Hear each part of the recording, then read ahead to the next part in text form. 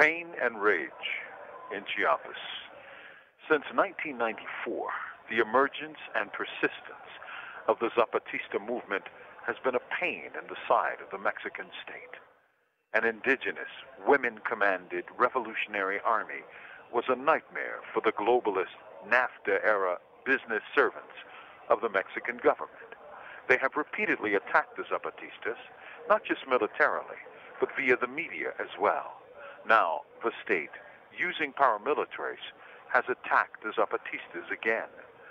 On May 2nd, the Zapatista support community, La Realidad in Chiapas, was ambushed, and a teacher there, Jose Luis Solis Lopez, was beaten badly and shot several times. Solis Lopez, known affectionately as Galeano, taught at La Escuelita, the little school, a Zapatista institution.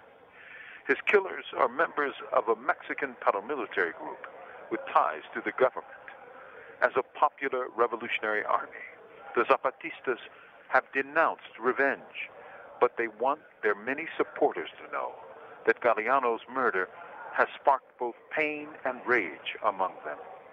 They also see this as a pretext for attacks to come.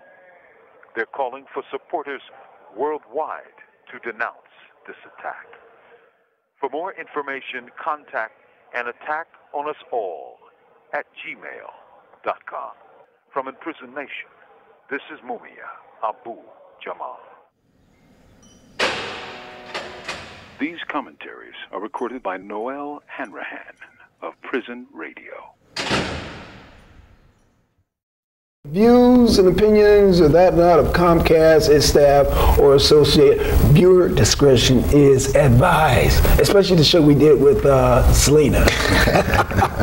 with that being said, I want to introduce the guest to my right. Brother, introduce yourself.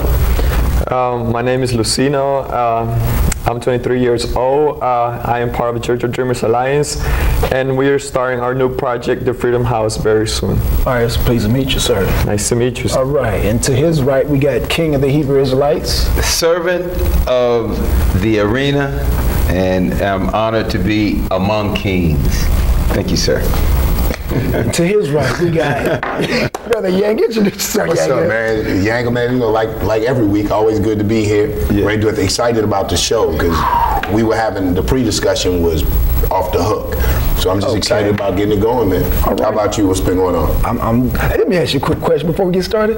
Why does Gideon keeps calling himself a dang servant? Oh, you know, that's that's the trait of a king is humility. Oh man, I'm not buying that, Yang. Thank you, my brother. Thank you. okay. Um, well, let's get started here. All right, brother, you want to uh, tell us a little bit about Dream House or a little bit about what brought you here? I know we're, t- we're talking about Im- immigration. It seems funny now because we have such a good discussion before show, pre-show. But you want to just get us caught up a little bit of speed. What's going on and the organization that you belong to? Okay. Um, well, right now we are working on the the Freedom House. Basically, what the Freedom House uh, is going to do is going to help our community because uh, our Hispanic community is being like uh, is being targeted by all these anti-immigrant laws here in Georgia and uh, as you know, like the southern states, Georgia, South Carolina, and um, Alabama has been very tough mm-hmm. since 50 years ago when um, when slavery was going on. That's right. So th- the same thing is happening right now.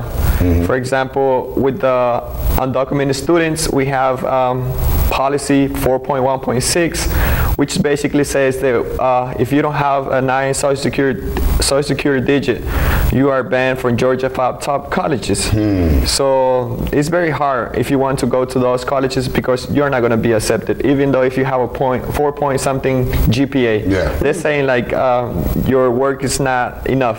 Your right. work is not is for nothing. Right. And also we're working in in-state tuition. What in-state tuition means basically that even though if we have deferred action, which was granted by Barack Obama administration in 2012, mm-hmm. which give us um, legal presence here in Georgia, uh, we are we have to pay three times as much as a citizen. So imagine if you are a student, you will not be able to attend these colleges because you have to have a job, you have to have your parents, and it's very hard because students sometimes have to have two jobs, mm-hmm. so they don't have enough time to study, to help their parents pay bills and everything.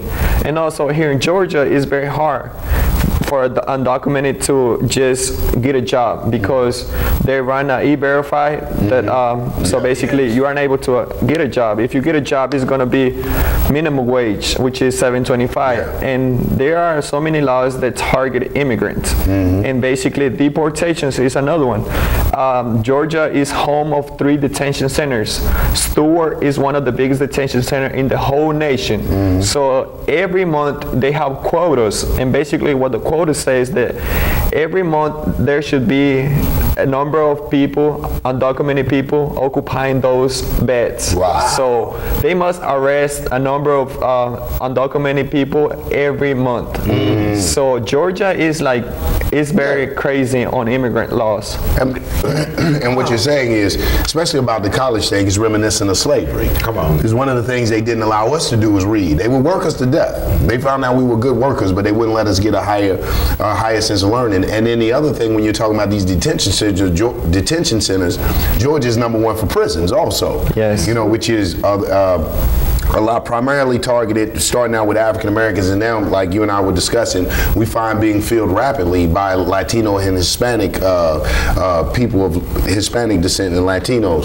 So one of the things is, I would like to know is, why do you think? Do you think that it's a larger conspiracy? Let's get to it. You know what I'm saying? Do you think it's a larger conspiracy to keep the Latino population from uh, gaining a higher education or a higher level of learning? Uh, yes, I think it's a conspiracy because uh, imagine if uh, if undocumented students were able to attend this like uh, this college, this like high colleges where you can obtain like a degree, get a PhD or whatever. These uh, students will occupy a better position. They will have better jobs. Right. So imagine if uh, undocumented students get to politics, they're gonna be making the decisions, and what the the like, politics they don't want that. Oh, uh, hold on, Lucino. Do you hear that, Gideon? Why don't you tell this man that the voting system really doesn't work? Because I like his strategy here. I'm sorry, Lucino. Go ahead, because we got some unbelievers on here. Believers that are unbelievers. Right, believers How you that be are a believer that's an unbelievers. unbeliever. Yeah. Go, I'm sorry. Go ahead. Sometimes, I mean, yeah, so basically imagine um, more people in the politics, more people being like doctors, creating their own, like, for example, clinics, beginning their own business. So, I mean, here, like, they don't want to see us get, like, progress. They don't That's a threat. Yes. So they don't want us to have a, like, they want us to go from, like, uh, kindergarten to, I mean, I mean high school. But they just basically saying, this is the highest you can go. Bec- So they limiting us from Exactly. going farther because they know we're going to be a danger. For We just example, want you to be workers. Just Yes. Work for the wage for the rest of your life and Yeah, let the white man take control of politics. So we got people like Gideon who tell our people, no, voting doesn't work, but we know you Latinos like to vote. You hear that, Yankee? They Mm-hmm. Well, like see, to vote. and that- and that's- why they're, they're- we got to close the they're gonna be, is right, and that's why they're gonna be, and that's why you guys are gonna be a threat. One of the things that you're saying is, and this is what that I hope that the African here in America uh, gets from this whole thing, and this is one of the reasons why, as a revolutionary, we first of all we have to support any oppressed people. So as a revolutionary, I definitely support your cause and what the Latino and Hispanic community are trying to do to, you know, for humanity, to have their right and humanity to life, liberty, and the pursuit of unhindered, unencumbered happiness. Um, but one of the things that I think that scares this country so much, especially about our Latino and Hispanic brothers and sisters, is the fact that you guys practice nationalism.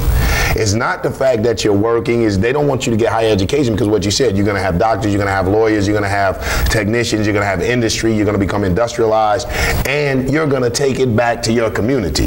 See, once you assimilate and once you buy into the whole capitalist, materialist type of mindset, if you would take your money, I'm going to tell you, you want me to tell you how the Latino community can get higher wages?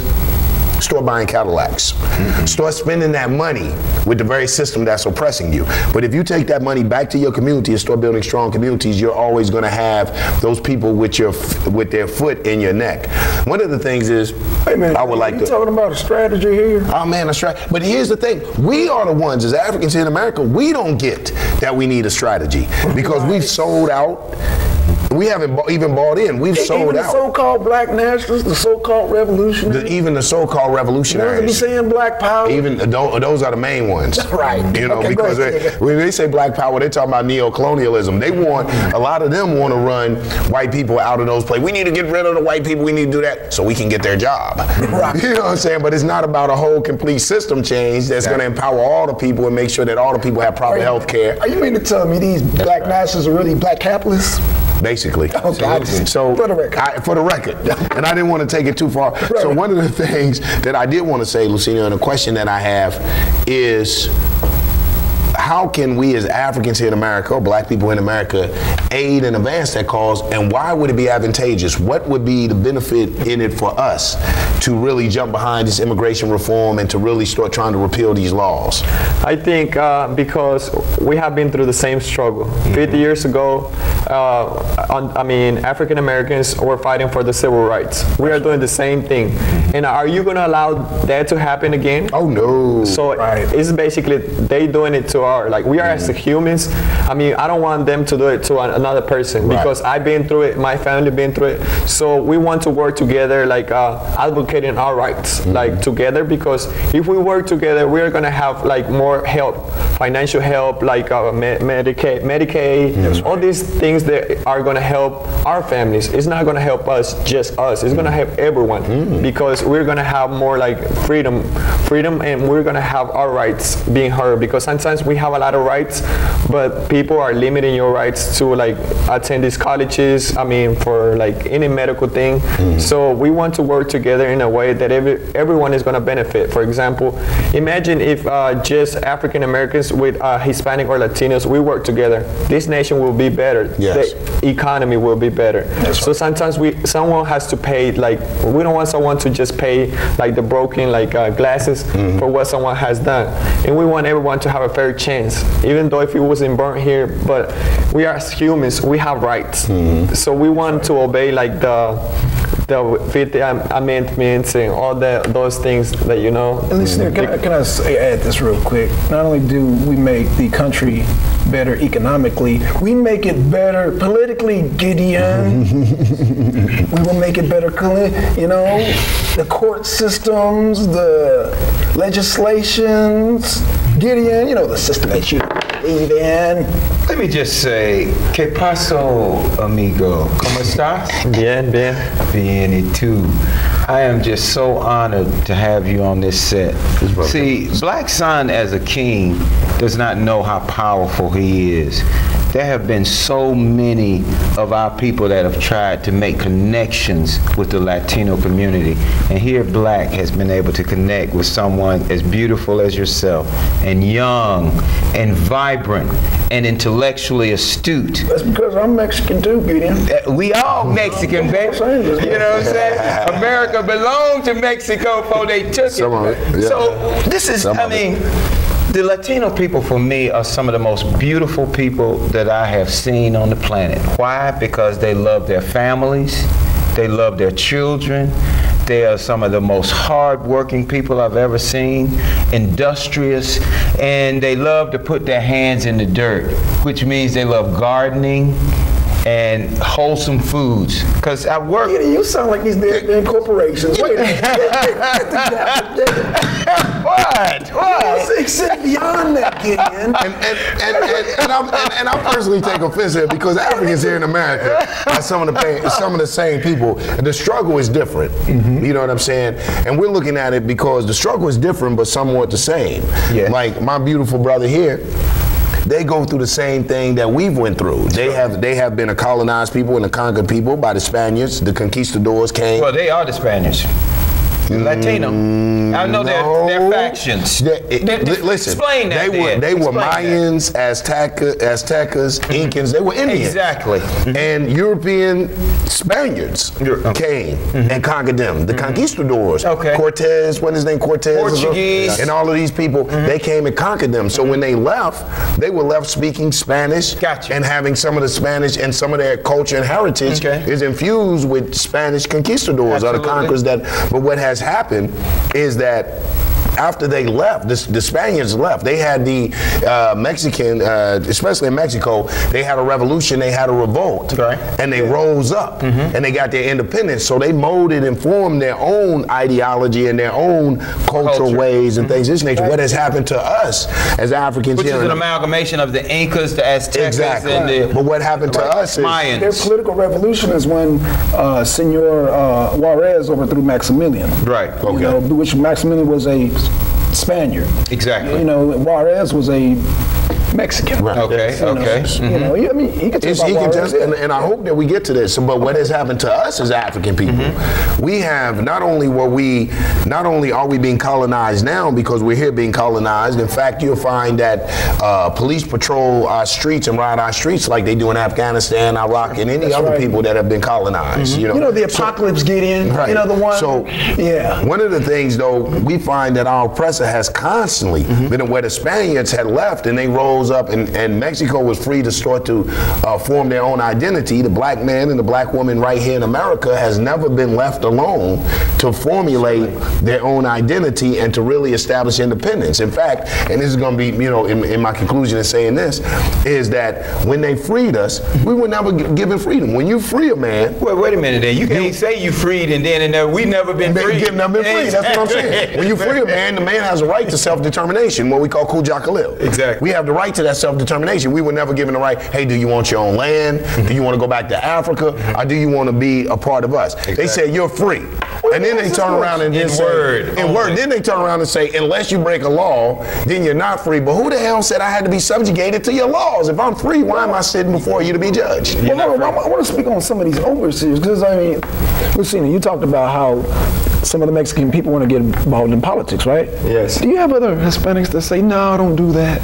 Well- don't do that. That's white man system. No, like I think uh, there are a lot of Hispanic people and Latinos there, like really, really getting into politics. Encouraging like, it, right? Yes. Uh, like for example, two months ago, I was in uh, DC, and I uh, every day we have like a protest march outside the White House, and I mean the leaders, there are leaders out there from the, representing the community, the um, Latino community, and there are people like young people that are pursuing to get there. You know, for example, I have this friend, and he say he's going for politics because he wants to make a change. So he has the vision, and I know there are they're just not one. It's like more thousands of undocumented students that they have like the potential to be there. I mean, they know like working like as a young activist, but they're gonna get there. I mean, I'm sure. Uh, I mean, laws will be Absolutely. changed. Listen to that. Now let me just uh, continue. in That's my- nationalism, Gideon. It's exactly what it is.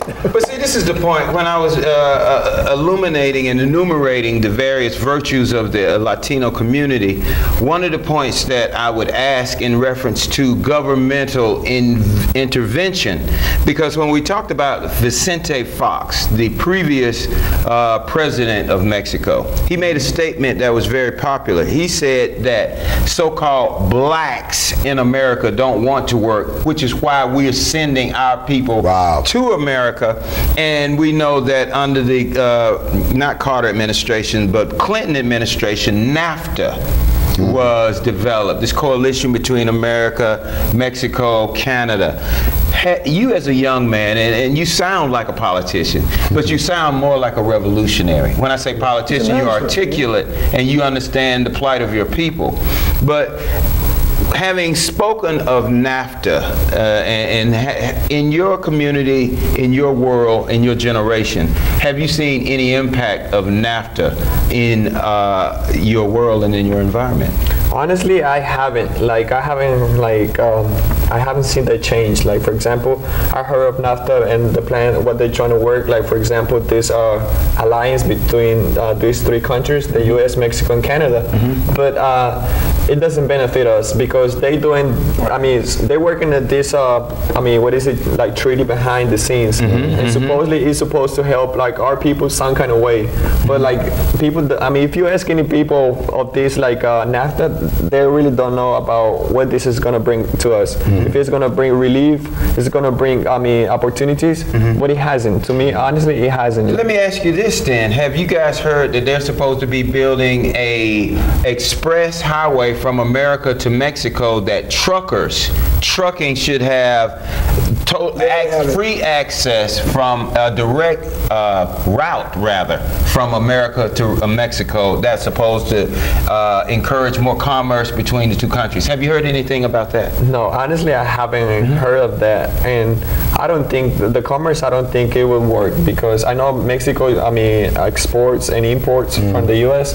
So uh, I haven't heard of that bridge that they're trying to create, honestly, and I don't know if it's going to work or not because I haven't gone deep and study about what they're trying to do. So I don't think it's. I mean, Well, let me ask you this last. Let me let me let me throw this one in here about the cartels that we hear so much in uh, in Mexico that they are out of control. That there's been a lot of killings. Oh, you mean at the ones that we border. support, Gideon? And The ones that America supports, under, you know, it's kind of like Sending talk- guns, sending- sending guns, and you know they're getting uh, uh, think that's a drugs question and for our everything. government there, Gideon. It is a question for our government, but this is the future we're dealing with here. This is a 23-year-old intellectual warrior. So when we talk about cartels, America, drug war. Are you impacted? What is the perspective as a young Mexican about uh, drugs in America and, and, and the cartels in Mexico? I think uh, most of the cartels and most of the people, like young people, are being involved into cartels because the president of the, I mean, Mexico president uh, is not creating jobs. Mexico is like, uh, yeah. So are n- there is no way you can make money. You know, if you work, you're gonna pay for like a little amount, and uh, just basically working for ten dollars here in the U.S. This is what uh, every Mexican works each day up Sounds there. like the West Side. Yeah, There's so no jobs. basically, uh, it's easy for people to get into drugs because it's easy way to get money and to just become out of the poverty. And um, as you may heard, I mean, the U.S. sold some guns to the cartels. Come on now. Well, do you- teach? Well, let me ask Wait a minute, hold on. He revealing Yeah. some things. Okay. Say, go say that again. Yeah, the, the U.S. sold like uh, guns and all this Yeah. type of weapons. So like the destruction up there in Mexico, like cartels can just you know do their job. Right. Like, so uh, that's not good because I mean, drugs being are being exported to the to the uh, U.S. Mm-hmm. So we don't want that here. Like we don't want because we're killing our families, we're killing Mm-hmm. our children. I mean, we're not sh- giving them a good example. That's what I was. That was going to be my question. Do you find because we find this uh, happening in our community and in what is called dehumanization and criminalization of the black male image. Come on. That's right. So what they do is they constantly show us on. We go through the same thing, whether you know it or not. No job, so you get the brother. Yo, I got to sell dope. I got to feed my homie, fam, my Right. family, homie. But we find what they do is dehumanize us and criminalize us. That way they can justify murdering us and killing us on the evening news. Do you think that the drug cartel is, do you think that they're making it bigger than it is? And is this an attempt? To criminalize and dehumanize and to tarnish the Latino and Hispanic And image, profile. and profile the Latino and Hispanic image. Absolutely. You know, is this something big? Should should we really be this worried, or is this something that's just bigger than life? So we can every every Hispanic brother we look at, uh, yo homes, that type of thing. You know, I think uh, they're making it uh, bigger than what it is. Mm. Like, especially the news. Like, the news just gonna show you this chaos, this uh, Yeah. everything. For example, I'm from Oaxaca, and uh, it's a very like a state. I mean, it's very calm, and uh, people like when you hear like, for example, the border like states, you hear of these cartels, Mm-hmm. you're like terrorized. Like, you're like you know afraid to just step into Mexico. Mm-hmm. But every state is not like that. I mean, so people are making it seem like Mexico is just the, the Wild West. Yes. you go, you better have your six gun on your hip. Yeah. No, that's America. Right, exactly. right, right. Okay. Yeah, th- so I think uh, people should not be afraid to just go and you know have a like a trip to Mexico. There are different states that you can have fun with your family because the cartels mostly like is like on the border side because they're like exporting drugs, trying to make all these kind of things, you know. and Let me just say that you have been excellent in the arena, and we are not even all the way through the show. We've been hitting you with some uh, pretty heavy stuff. And I'm getting ready to hit you again with some heavy stuff. As a historian, and if you're very young, so I don't know how in tune you are with your own history and the history of your people, but our people historically were called negro. Negro is a Spanish word that means black. Now, we know that those of us that done a little research, it was Spanish, Dutch, the Portuguese, and the British that were part, not were, are still part of the slave trade. Do you have any information in your historical perspective from, because a lot of the slave information was written in Spanish, because it was the Spanish that were involved in the trade, so a lot of information for us has been lost. What does your historical background, if any, tell you about why people who are supposedly brought from the south coast of Africa were called by a Spanish name, which is Negro? Uh, honestly, uh, to be honest, um, um, I started like a school when I was thir- uh, three years. I mean, I started third grade here in the U.S. So I know not. I don't know that much about the history of Mexico because I didn't go to school up there. But like, uh, that's crazy. I mean, if you think about it. I mean, I was expecting for like nigger or like negro to be like an English word, you know, Right. because that's the first thing comes out of your mind. Because uh, we get those names. I mean, if we go historically back, and uh, I never thought it was like it came from you know Spanish, Dutch, and all this. Yeah. I mean, it's just crazy, It's- you know. It Like- started from there, but I, I'm sorry, I just wanted to jump in there because I, I want our viewers to know and to say this for the historic record, not the Latino, not the Hispanic, it wasn't the Mexicans Yeah. that did it to us. Yeah. It was the European Spaniards. Yes. They from got. Spain. It Right. wasn't The conquistadors. the conquistadors. It wasn't the brother here. It wasn't, It wasn't you know the Jorge. Incas, it wasn't the the- Incas, the the Mayans. Mayans, They went through the same thing. They mm-hmm. went through the same thing we went through. Gotcha. So when you had these Europeans, when you had these pale skins come over here who spoke Right. Spanish, Right. You know, a lot of the Spanish are dark now because we know of the Moorish influence. Exactly. You know, when the Moors came in, we took that bad boy over Yeah. and started mating and breeding. Yes. But before then, they were pale skinned European Spaniards. Uh-huh. So I think that this is a distinction that has to be made because a lot of times when we say Spanish or Spaniards, a lot of the first image that comes up are of our Latino brothers and sisters. Right. But we have to know that they were uh, uh, indigenous people to their land. They were Indians. Right. And they were conquered people. And so a lot of them, what they're suffering now is the same thing that we, were suffering. are suffering. They're suffering, that we are suffering. They're suffering from the, using the language of their colonizer. Yes. The dress of their colonizer and a lot of their influence. The thing was, the difference was, is like what you said, the rising up, Ah. the revolution. And they ran their colonizing oppressor out of there Ah. where we still languish Mm. under the whip and the tyranny of, our, of, our, of our colonizers. Mm-hmm. Well, let me ask you this as a segue into his point and reference to color. Because see, in America, what we have are color issues. Yes. Hues based on the uh, amount of melanin. If you are darker, you are uh, kept away from the mainstream of economic and social political strata. But if you are light skinned that looks more like the oppressor, then you're given more access to certain privileges. In a Mexico, there are people that are darker than me. I mean, much darker. You guys still have the straight hair. Yes. Is there a color racial component in Mexico? And as a young man, even though you were raised here in America, you speak. Do you speak Spanish? Yes. Do you have some of the same issues among a social strata among your people? Um, I think it's not like here in the U.S. It's, it's probably less because I had like, for example, you mentioned the color. Like I heard, like for example, working with these different organizations, uh, talking about deportations, and uh, I heard they're using those in jails. You know, they bring like a piece of thing, and they just based on your skin color, they categorize you. So I was like, that's crazy because imagine a, pe- a person from uh, uh, from the Caribbean, even if he's Cuban, he's gonna be dark. Yes. So The Dominican Dominican. Not Yeah, necessarily. There are Cubans Yeah, that uh, look some- white. Yes, But they he look said white. like, you know, Yeah, in the like- Dominican Republic, Yes. Spanish speaking people. So I mean, there's the same thing in Mexico. I mean, in Mexico we don't pay, I mean, attention to that. Mm-hmm. There are like some people, like some people that like to be racist. For example, the one that are wealthy, Mm-hmm. and they're like they probably pay attention to that. But I like, I mean, when I or like the town that I was living, we didn't pay attention. Even if it was darker, I mean, we didn't have like a big problem like is in the the U.S. Mm-hmm. Because once you step into the store, people are gonna say you Mexican, even if you are from Central America or South, Mm-hmm. Yeah. South America. Yeah, So yeah. See the things Yeah. right there. I mean, so it's crazy. You get that a lot, yeah. We, I, I see that that the people you get And people get mad Cuba about that. People like they get offended. Like But you should be. Yes. I would be. I would be offended. Yes. I would, if I was El Salvadorian and I went in somewhere, and it's not that I had anything against Mexican people. It just would be I'm not Mexican. Right. Yes. you know mean? It's that simple. Don't lump me in a box. Right. I'm El Salvadorian. I have Right. a, a heritage, or culture. One of the things that I did want to talk to you about, and we were talking about.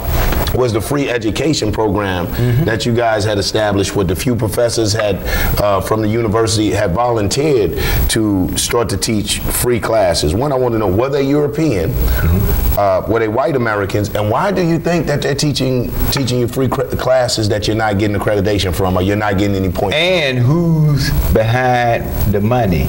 Who's financing it? Ooh, good one. Good one. Uh, well, Follow uh, the money. Well, just um, start somewhere. But you're looking at they're setting themselves up for exploitation. Now you did say something that was right. One of the things with this free university I would be very careful of is that they don't make you into what we call a Uncle Tom. And let me explain in, in our language what an Uncle Tom is. It's someone who has no ethic pride. It's someone who will uh, he Sell doesn't- out their grandmama for for, for a dollar. You know, he doesn't care nothing about Mexico. He doesn't care where you're from or any of that. And for the money, he will sell you out. So a lot of times they will ingrate themselves to you, like a lot of our civil rights leaders came to you. There's black people suffering right there in our city streets, and we haven't seen some of these civil rights leaders since 1950 something. on, come and. They, they're in your school trying to indoctrinate you guys to get into a civil rights issue. When you go into civil rights, my dear brother, then it keeps it an American issue. But what is happening with the Latino community as well as the black community, it is a human, Human rights, rights. violation. Absolutely. No one should be denied the right to health care. No one should be denied the right to health care. No one should be denied the right to shelter. Right. No one should be denied the right to eat. Yeah, exactly. You see what I'm saying? And no one should be denied, denied the right to education Exactly. in, in the pursuit of and search of a better life. One of the things I say again, and I'll stick by this, what scares them about the Latino and Hispanic community is the form of nationalism Yes. that you practice. They brought the Latino and Hispanic community over here to replace the, the Negro, the nigger is what they call us. Us. You see what I'm saying? And they put out this thing that we're lazy, Right. we're shiftless, we're just Right. tired. Right. We've been working for free for 400 some years. on now. And then the, after that, we had to go through segregation and sharecropping and Yes, Jim Jim Crowism Crow. just to get to minimum wage. Hmm. So we're tired. We built this country and we are tired of having to fight for a right in the damn country we built. So they mm. got tired of dealing with us and what they call that complaining. Negroes always, we freed you. What are you still crying about? But we ain't free. Have your black Right, we, so they brought in another people. Right. But in, in bringing in the other people, they didn't they didn't count on your resolve and your resilience and your your fervor and your firmness for love of family, Yes. love of culture, love of heritage and the earth itself. and the earth. And so what ends up happening is that the whole system starts to change. Now we're having debates like, is Spanish a second language? Right. Can we speak it in school? So it brought a whole new phenomena and a whole new dynamic to the situation. What I think though is, and, and, and my thing to you is, in your as in the Hispanic community, and the one you belong to, because I know you can't speak for it all over, but what is the brown black relationship, African and, and, and Hispanic relationship? And if there is a divide, what could we do to, to heal that and that. mend that? How can we bridge that gap and, and come together and form an alliance question. of oppressed people? For example, I think it's very important just to get to know each other because Yes. uh, uh, I live in like a, in a community like uh, where like it's a lot of like African Americans and uh, the majority uh, are like it's a mixture. So Hispanics and African Americans. So we're like in the same area. If we work together to create relationships, I think, and we understand what are we fighting, that's when you start creating uh, relationships when you know like what you've been through, like the same situations, like we're sitting right here right now talking about the problem that we have to face out there.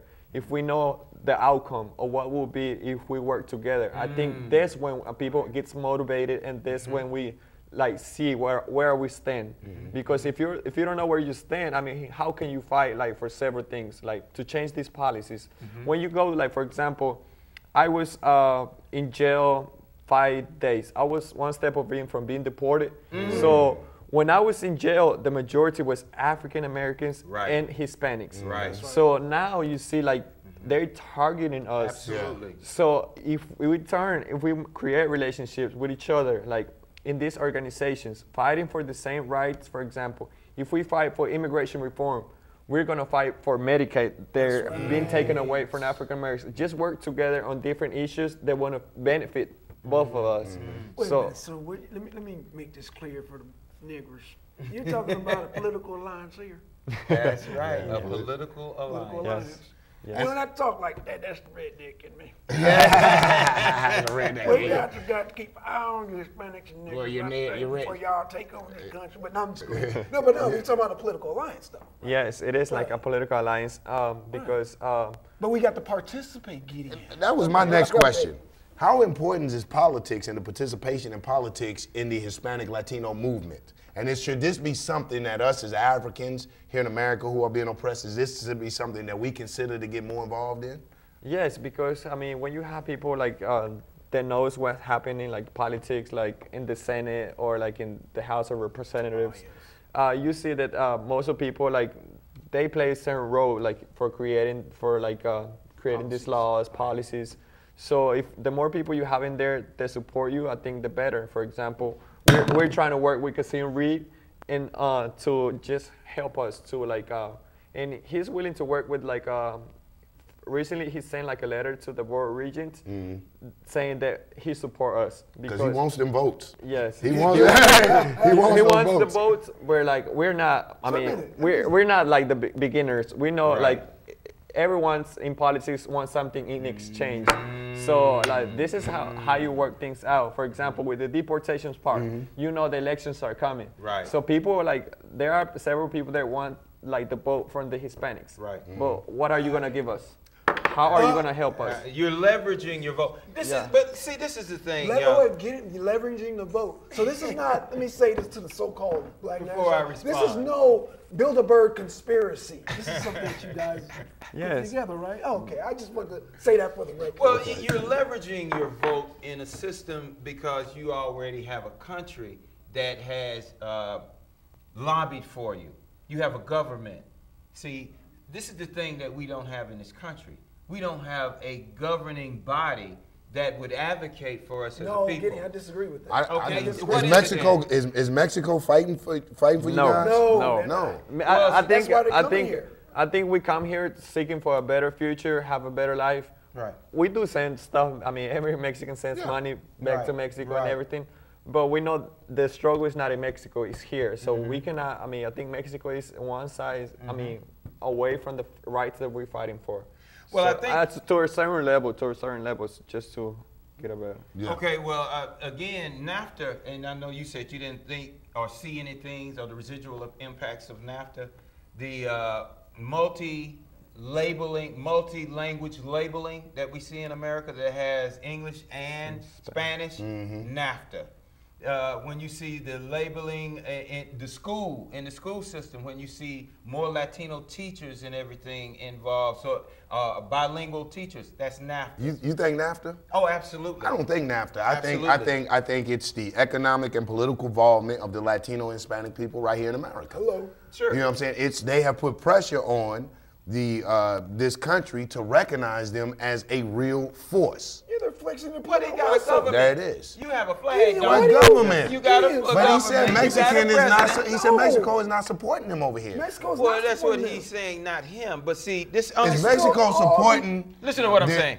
You gonna tell this man about his No, struggle? no, no, I'm not. I'm simply saying that the Mexican people over here are entrepreneurs. They Right, they ha- start they from go and scratch, set up Gideon. their businesses. They We did are- that. Absolutely. So it has not worked for us, and it's not going to work for them No, no, no, because it they've got worked for some a of government of oppression set up to prohibit them. That's what he's saying about the colleges and the lack of education. This is a strategy by the white oppressive system to keep the underprivileged down. So at the end of the day, even though they go into the political arena expecting equity, No. let me give you an example. Wait, wait, do you go in there expecting or fighting? Fighting. Okay, let me the example I would Fighting, give you Gideon. is Snellville. Get the mayor man of Snellville. I have several Mexican friends. He's saying the same thing. We go in there fighting. I'm not disagreeing with you. I'm not Man. saying don't fight. I'm saying the No, mayor you said expecting. of Sne- Snellville, duly elected, went into her office, hired. She was a young lady like yourself, young progressive, coming out of the uh, issues of race and all that. Hired a young black Was she sister Latino in or something? No, she was a sister. Okay. Hired this uh, European, young European mayor in Snellville, hired a sister. Not only did they reduce the mayor's salary by thirteen thousand dollars, the person that she hired, they put her, they wouldn't even let her in the office. Then they moved the office to the basement. This is a duly elected political figure in American politics. Gideon, are we so the looking point that I'm just simply making, you cannot trust the American government, and just because you have numbers, they don't give. You a- can't. I, they don't listen, care. Get in. I would. I would agree. I would agree in the sense of saying that you can't trust. Historically, people have showed us that Thank they're you. not to be trustworthy. But to sit by and be non-active, to be I ambivalent. didn't say non-active This and this is what I'm saying. Okay, because you're, you're the Mexicans trust them? right. I mean, we, they- we don't trust them at all because when I was in DC, for example, like with this immigration reform, some people blame Barack Obama because under Barack Obama, he has deported almost two million people. See? man, Look, President look, Barack been a fool. Yes. Come on, come on, Yes. come on with it. And also, I mean, these are some people are just fighting for money. That's when we go back to Uncle Tom's. I mean, Yeah, Sell out. Tom. Yes, sellouts. Sell out, Uncle So Remember that word, Uncle Tom. You might have to use that in the future. yes. so basically, uh, with these like uh, Latino uh, leaders, some of them are really fighting for like you know equality for the our rights, and there are those who are just being fake. Exactly. That's right. So now, when it comes to the immigration reform, some of them blame the Republicans. They say the Republicans, you have to strike them. They have to make the decision. And the Republicans, they give money to the mm. Hispanic people, and now what the Hispanic people are blaming the Democrats. Okay, wait a minute, wait a minute, wait a minute. Let me So- slow it down. That's the way so they you do it. say, That's so the let me slow this it. down. So now you see, so you like, got the, Repu- you got the together. Republicans actually supporting, Paying Yes. money. paying money to Hispanic and Latino people, Right. To to to push and promote their cause. Yes. Why are they doing that? Because simply they don't want to like the I mean the whole like you know they don't want to be like up there you know having a bad image. Right. So they Right. care about what their decisions. They want to be like they want those votes basically. There it is. I, that's what I was waiting for you to get to. So they're, they're they're placating. They're really catering to you guys because they understand the strength, the, the political Yes. and economic strength of the Hispanic community. Yes. Let me ask you this. And they're doing the same with the uh, LGBT. Yes. Uh, LGBT. I mean, yeah, yeah. they were Did up there they in the use same the vote when, Yeah. they, when they, they used the vote when they took California? Did they use the, The vote man when sold they them took? out. They had Uncle Tom sell them out. Thank you. That's what I'm You're telling you. But, but they're going to fight that. They but, got paid off. but what I'm saying is, we can be like, at the very least, I would like someone to come talk to me and say, hey, what can we give you guys? Then have a police car pull up and beat me in my head.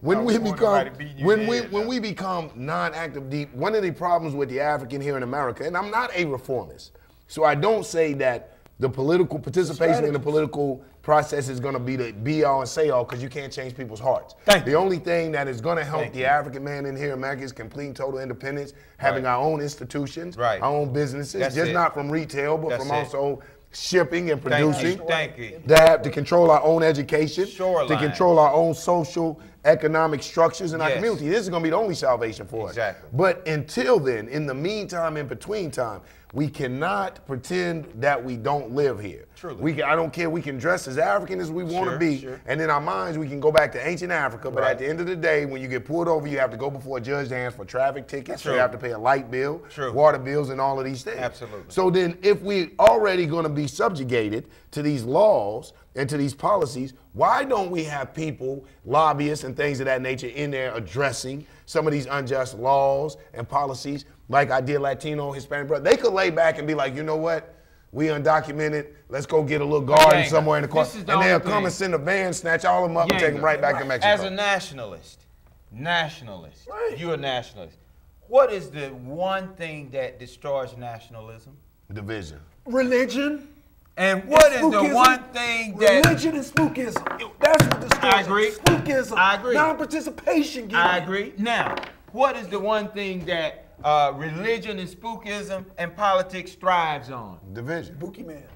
My, I'm, I'm But but you Okay, but when you move, but but when you you move as a force, it's like what he said. The Republicans are pandering to them now. Republicans. Repu- When's the last time you know a Republican even talked to a black man? They Oh, don't they even deal do with it us. under the table. No, it- this is how they do it. This is how they the do it. They talk to us through the libertarians. They send Andrew Hunt. Right. You know what I'm saying? So they, they say we're not going to use Republican. We're going to call ourselves libertarians. But what I'm saying is, when you, as a nationalist, when you move as a whole, all of, all of, even, let me ask you this, brother, the undocumented people. See, this is what nationalism is, and watch this. The undocumented Latino, Hispanics, brothers and sisters, are they backed and supported by documented Latino brothers and sisters? Not, not The ones documented don't support you guys? They do. I mean, they do to a certain limit because they lay back. You know. They're afraid of their status being compromised. Well, not really their status, but like uh, just uh, if I was like, um, there are those who do it by heart. Mm-hmm. They really support us. But there are those that just chill back and they don't want to, you know, expose themselves up there because they already have like what they wanted. They have Yeah. like they have those papers. Oh, where- y'all already got Uncle Tom's in the in the mix. Y'all already. They didn't even wait. They didn't wait quick to infiltrate you guys. They had them in before they right. came. It's different because uh, when we support, for example, uh, in education, there are like a lot of like uh, Latinos or whatever Latinos, meaning from like different, uh, I mean South America. They have papers. They like they don't see they like already going to college and they don't see like they need to do something else, you know, because they are having those uh, the education they want. But like it's different when you uh, meet a like undocumented student that's working a job that is paying bills and they he wants to attend a college. So it's different. I mean, you see the different like the We're difference. class warfare here. Yeah, it's classism. They said no Yeah. classism. Welcome to America, brother. Yeah. So Besa, now when we talk about uh, Corona, and we know The Drake that- Corona Yes. with a lime in it. you know what I'm saying? Uh, we talk about uh, industries. We know uh, Latino people, Mexicans in particular, are famous drinkers. Yes. And do you all? Is that a Stereotype. stereotype? oh, no, no, no, That's like the person well, you know, we drink, we drink, but y'all eat watermelon, smoke blunts. You know what I'm disagree or saying? not? He. He, he might be being Let me ask. polite. The, the question is. I was just saying, I was just saying, yeah, because they do drink. But I know, like, not just Mexicans, just Yeah, everybody. yeah, yeah, Well, but You gotta watch these we're slick talking ones, about brother. You industry. getting game on the arena. we're dealing with uh, industry and economics, do you guys actually have factories in Mexico that produce cerveza? And uh, and d- d- okay, So, yes, I mean, uh, in Mexico we have different like uh, factories, warehouse. But who's your biggest import? I mean, who's your biggest exporters though? That's what you gotta look at. They Who might do be you- who ship- you shipping selling to? us. U.S. There you go. that's it. Yeah. Oh, so it's an incestuous relationship. It's just like the poppy fields in Afghanistan. It's just like it's just like the oil. I mean, I mean, you know, Yes. the Yeah. U.S. trying to like go for Mexico's like uh, oil like uh, companies. So. Yeah. Oh, this is an esoteric question. Uh, uh, what is it called? Uh, uh, peyote. Yes, peyote. I've always wanted to experiment. Do you know anybody? Oh, peyote is an it's a uh, Is that cactus. the, the Indians be taking and getting? Yeah, again? yeah, you know what I'm saying? Man, Oh, put this You man know- on. you were- you You know me? what? You gonna have? I'm gonna tell you, you have the Hispanic community up in arms about. You know what I'm saying? You thought all the you See, done hit the man with the corona. Right. Now, get into this. right? No, peyote is a cactus and it's a hallucinogen. But why are you asking this man about peyote? He came up Because talking I mean, he. I didn't ask him if he's had it. Do, do you do you know that as part of the exports from uh, Mexico to America, peyote? Yeah, if it's a cactus, yes, I know. Yeah. Yes. yeah, Okay. Because I'm, I'm familiar with the cactus because I crossed the border. Okay. Exactly. Yeah. Do you find? Do you deal with a lot of as a Hispanic over here? Do you first of all, do you like to be called Hispanic American? What is the what is the The terminology, on that? nomenclature. Yeah, What is what the proper what, what do nomenclature? the Latino community do they like to be? I don't call him amigo. I call him hermano.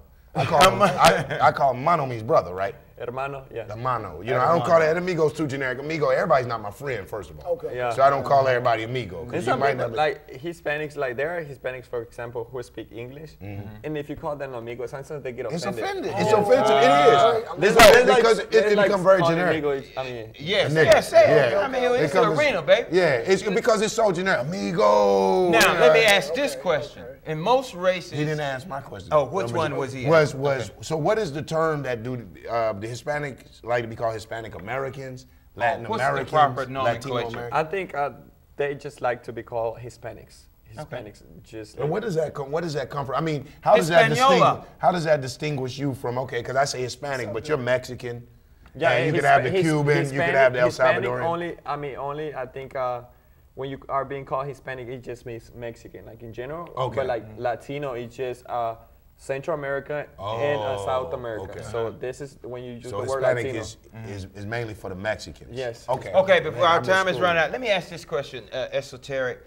Most nations have been profiled, have profiled us, black men in particular, Hebrews being of color, as womanizers. Latino people, Mexican in particular, have some of the most beautiful women on the planet, very voluptuous women. Do you have a problem with interracial mixing? Because I know most people protect their women, and Hispanic men tend to do that, but your women are very vivacious and very sexual. Do you see uh, explicit race intermixing? Uh, do you have? Do your people I give a disclaimer have a fear Maybe they did disclaimer. of interracial mixing with blacks and others? I personally, I don't have no problem. I mean, you see, uh, there are Yeah. a lot of ladies who are pretty, even if though if they're not Hispanic. I mean, you see a black ladies, they are beautiful. I mean, white ladies, Chinese. So personally, I don't have a problem. And I think in general, talking for our, our Hispanic, uh, they don't have a problem. I mean, it's not like That's gonna that's gonna be a problem. I, I, listen, Wait let a minute, hold on. Let him finish. Let him finish. Go ahead. I mean, some of them just like uh, some of um, I mean Hispanics marry like a black uh, black uh, females or um, I mean white females because uh, sometimes they, I mean they know that there's a like the path for citizenship. Yeah, exactly. So- That's and and, and, and here's here's where Yep. the problem lies. Let me tell you mm-hmm. something, dear Three brother. minutes. Have no and I'm gonna be brief. Mm-hmm. Have no problem. I will state for the record, me, the interracial thing, I'm not with. Right. Have no problem with claiming your woman, loving your woman, and say, hey, she's a Mexican woman. Mm-hmm. I'm a Mexican man. We want to create a Mexican family. Right. Love on your woman. Right. I think that the black man, he has to start to love his woman. He has to start to take care of his woman, taking the flaws and the ills that come with his women, and we have to start protecting our women. Yes, our women have started to hate us, so they start to look to other races as being better than us. Mm-hmm. I tell them, well, you keep looking outside. The mess that you find in me as a black man is the mess that you help create. Mm-hmm. And the mess that I find in you as a black woman is the mess that I help create. So we have to fix that. Yes, So- definitely. because if you look, for example, you know you're having a problem with the, like uh, your girlfriend, whatever. Yeah. If you're seeking for something better, they're gonna have their own pack. They're gonna- Exactly. so just might as well start fixing our own problems. And I think uh, Mexicans, like, even though if they have problems, they love their women, they love their kids. Good. And they try to like you know give everything, like their love. I mean, supporting them Good. in any kind of way. So I think Loving it's- ourselves doesn't mean hate anyone else. Who's the number one Mexican rapper? Uh, the Vicente Fernandez. Vicente- Vicente Yeah. Fernandez. yeah. Are we out? We out? We out. Oh, all right. Oh. Let's get this camera on. Hey. Hey, so we gotta have you back on. Yeah, we got you come back on, man. this. Would you come back and do something sometime? Yeah, that's correct. Yeah, that's correct. Yeah. We got deterred from the politics